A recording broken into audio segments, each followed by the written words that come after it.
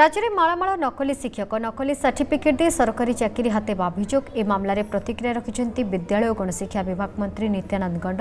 যে যে স্থানের নকলি শিক্ষক অনেক অভিযোগ আধারে বিভাগ তদন্ত করব এ দিগরে দৃঢ় কার্যানুষ্ঠান নিয়াযিব বলে নকলি শিক্ষক নিযুক্তির পর্দাফাশ ঘটলা অর্গস বরগড়ে নকলি সার্টিফিকেট দিয়ে চাশ জন চাকরি করতে অভিযোগ হয়েছিল অর্গস সাথে লাগি রাজ্য শিক্ষা বিভাগ রয়েছে বড় স্কাম্র প্রমাণ ନିଶ୍ଚୟ ଯଦି ନକଲି ଶିକ୍ଷକ ଯଦି ଅଛନ୍ତି ସେଭଳି ଯଦି କିଛି ଆସୁଛି ଅଭିଯୋଗ ଆସୁଛି ତାର ଉପରେ ନିଶ୍ଚୟ ତଦନ୍ତ ହେବ ଏବଂ କାର୍ଯ୍ୟାନୁଷ୍ଠାନ ବି ହେବ